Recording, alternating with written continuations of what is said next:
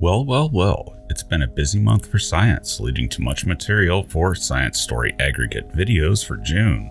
There was so much that there will actually be two of these lists this month in order to cram it all in. So here are 10 interesting scientific discoveries for June 2024, and expect part 2 in a day or two. Number 10.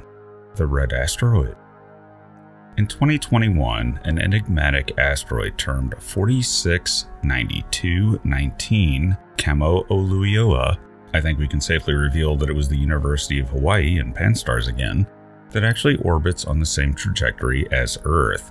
That's always going to be interesting because it's really an open question about material getting knocked off Earth by impacts in the past, and how incredibly interesting it would be to see what that looks like. But in this case, there was another mystery. The asteroid is reddened in an unusual way, not quite like other near Earth asteroids. That reddening led to work being done on just what body in the solar system has the surface chemical composition to do that and still have it in that odd orbit. As it turns out, it matches the moon, so this asteroid is likely to be a chunk of the moon blasted off by an impact. But it's recently gotten more interesting because now researchers think that they know which crater it was. Renu Malhotra at the University of Arizona and colleagues found that the crater needed to produce it should be between 10 and 20 kilometers in diameter, and recent, as informed in the last few million years. The lunar far side crater Giordano Bruno fits the bill best, being both the right age and the right size. But that's where this story takes an interesting turn. Kamo'oalewa is slated for a visit and sample return mission by China, with their scheduled Tianwen-2 mission, which is planned to launch next year. That should answer the question and tell us the origin of this weird asteroid. Number 9. Wasps can recognize wasp faces. Certain cells in the human brain and primates in general are associated with the ability to recognize a face. Oddly, though, and in a seemingly new example of convergent evolution, Wasps appear to have similar cells and a similar capability when looking at members of their own species. On its face, that may seem weird, an insect that can recognize other members of its hive essentially. It's thought that the way wasps do this is at least partly by recognizing differences in color, which is very subtle on other wasps' faces.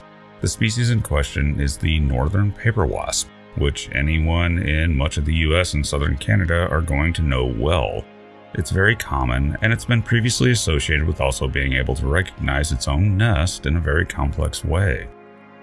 The researchers connected up 18 female paper wasps with probes inserted into their brains to record neuron activity. They then showed the wasps a series of thousands of different images. Yes, they had wasps watching television, and they looked for what images elicited a response. Whenever they saw a wasp face, a very specific group of neurons fired in a very similar way, but very different from that when seeing a picture of something else. As to whether this represents a new example of convergent evolution in two radically separated species, the ancestors of we and the wasps diverged long, long ago, is an open but interesting question that only further research will shed light on. Number 8. The Plasmas of Mars the idea of a coronal mass ejection from the Sun is well known. Indeed, last month, many were treated to a show of aurorae as a result of one. They work relatively simply. Plasmas made of ionized gas inside the Sun's magnetic field can see the field snap in two, leading to bursts of energy that ejects the plasmas into space. Here's the weird thing Mars does this too. Mars's ionosphere is also filled with plasmas, and even though it only has very weak, spotty magnetic fields, it can do it. It's often said that Mars has no magnetic field at all, but this is a misunderstanding. It doesn't have a core generated one like the Earth, or a massive one like the Sun generated from beneath. Rather, Mars's spotty and weak field is generated in the crust. This was always thought possible with the ionosphere of Mars, but very difficult to observe but a group of researchers in Taiwan have done it. Essentially, interaction with Mars's spotty fields by the solar winds causes the same snapback effect that launches plasma into space. These are not huge, they are many times smaller than the Sun, But it really is the same principle, opening the way up for such interactions to be identified in moons and planets, such as Venus, that also lack a global magnetic field. Number 7. Zeroing in on whale language. I think one of the most common thoughts that wander through the heads of the science minded, as anyone watching my content probably has wondered about, is whale language, which I've wondered about since I was a kid in the 1980s. How can you not? They appear to be speaking to each other somehow, but in a way so different from what we humans do that we haven't really been able to figure out much about it, even across decades of people studying it. In fact, the mystery of whale language has only deepened. It turns out that new research is showing that whale song is actually the closest thing to human language yet discovered in the animal kingdom.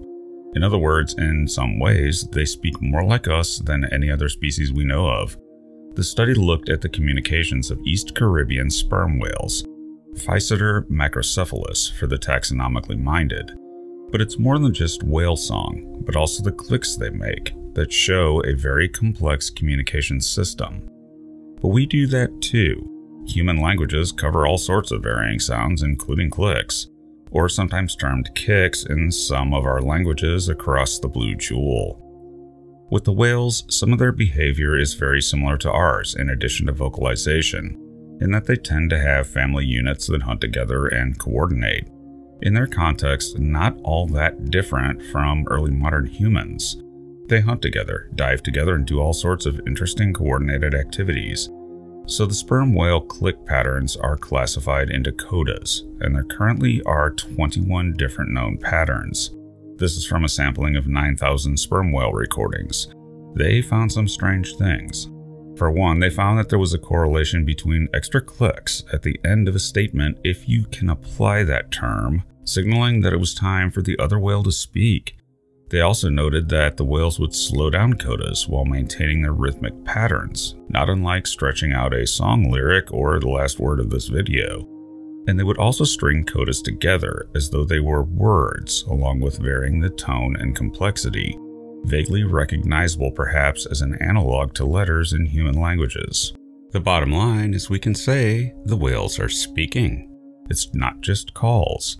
What they are saying, however, remains a mystery. Number 6. The invincible robot hand that trains AIs. This is one of those developments in technology where you just throw your hands up and say, well, of course we needed that. AI is safe.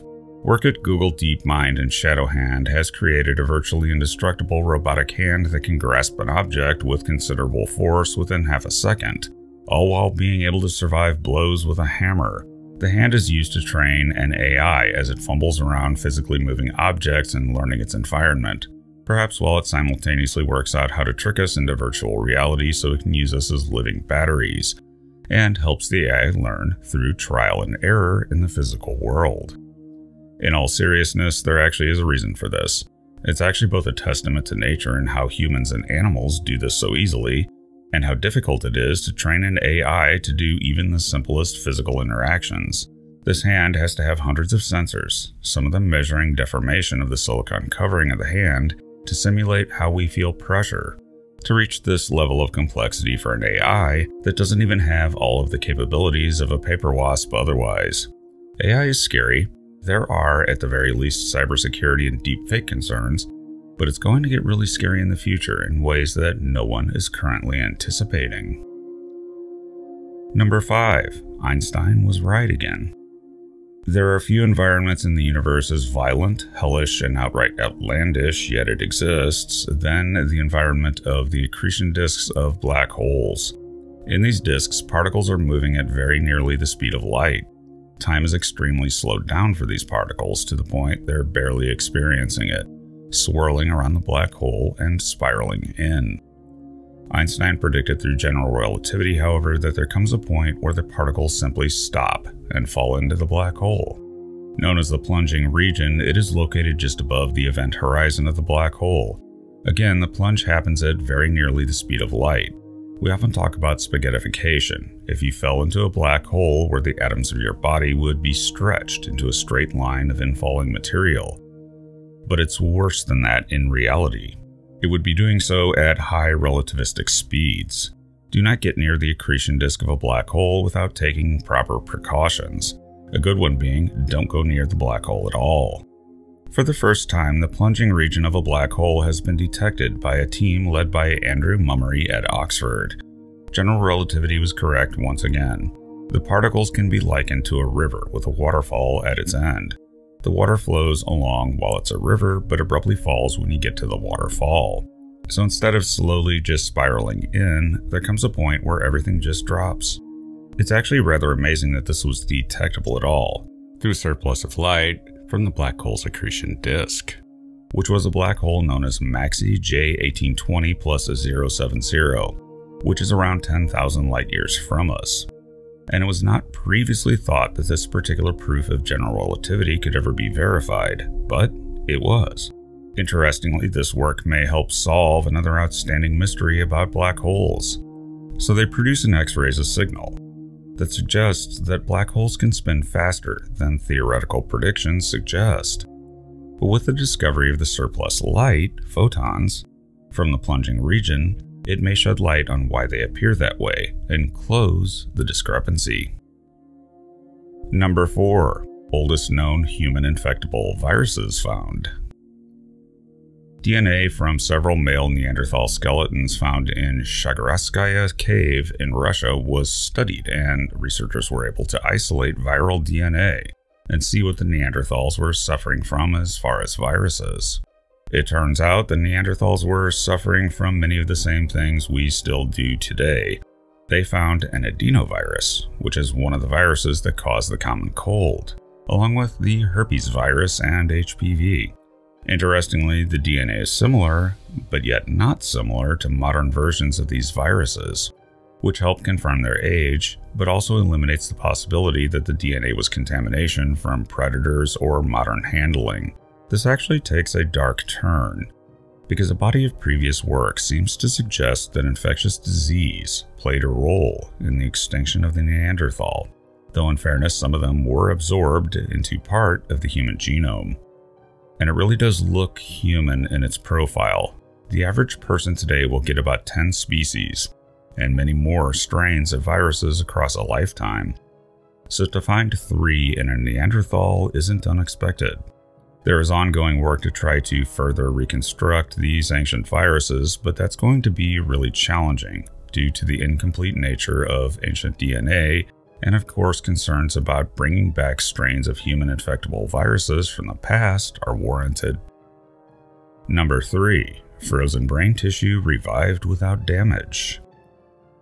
One of the biggest issues in the field of cryogenically freezing humans for revival in the future seems to be solved. When you freeze tissue, brain or otherwise, the big problem is that the cells get damaged, literally torn apart by the crystals of ice. There has been some progress with this in the form of vitrification and sort of soft freezing tissue, but the brain has remained elusive.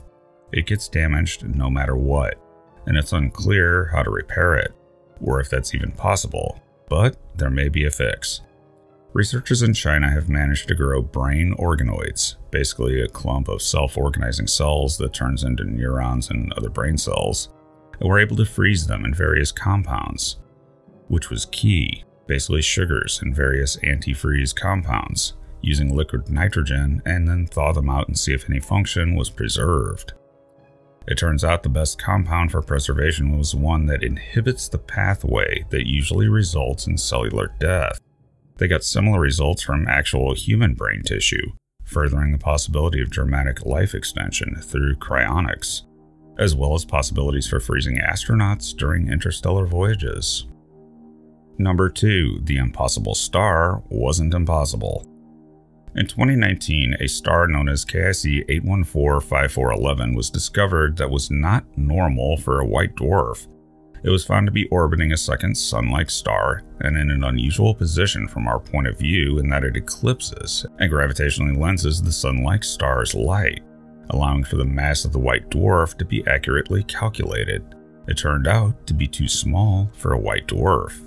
Very small white dwarfs do happen, but only if the companion star is sapping material from them. And in the system, the two stars were simply too far apart for that to happen, leading to a situation that shouldn't be. since there is no other mechanism to get a white dwarf with those characteristics. It turns out it was an illusion, and there was a third star present in the system skewing the data. And the white dwarf is now calculated to be well within the normal parameters for a white dwarf. Number 1. Quantum entanglement survives chemical reactions. Chemical reactions are not peaceful things. Exploding dynamite and fire are chemical reactions occurring very rapidly and in some ways chaotically. The products of the reaction basically just come flying out of the reaction, and the whole thing is just violent on its scale. This led researchers to wonder if quantum entanglement could weather such chaos, and two particles come out of it still entangled. Researchers took atoms of rubidium and potassium and collected them in a vacuum, dropping to near absolute zero temperatures, where they combined into molecules randomly. All through this, the scientists monitored their individual quantum states to see if anything changed. To put it another way, they looked at the coherence of them, meaning that they were in a wave state when the whole thing started. If the reaction had affected them, their waveforms would have collapsed. They did not. They remained waves, suggesting that entanglement and certain quantum states can maintain themselves in a chemical reaction. This actually is potentially more important than it might initially sound because it opens a certain door, which is the control of quantum particles in a very practical way. Thanks for listening. I'm futurist and science fiction author John Michael Godier, and when I have time, old school fossilized 90s gamer that's still waiting for a decent sequel to Bard's Tale and an update for Windows XP. I'm also eagerly awaiting the new Columbo or Seinfeld episode on television so I often get asked by the gaming audience. So, JMG, alright Gen X Proto Boomer, what games are you currently playing these days? And it's Helldivers 2 on PS5, simple fun. And I mean, who doesn't dream of expanding the human empire to the entire cosmos? And be sure to check out my books at your favorite online book retailer and subscribe to my channels for regular, in depth explorations into the interesting, weird, and unknown aspects of this amazing universe in which we live.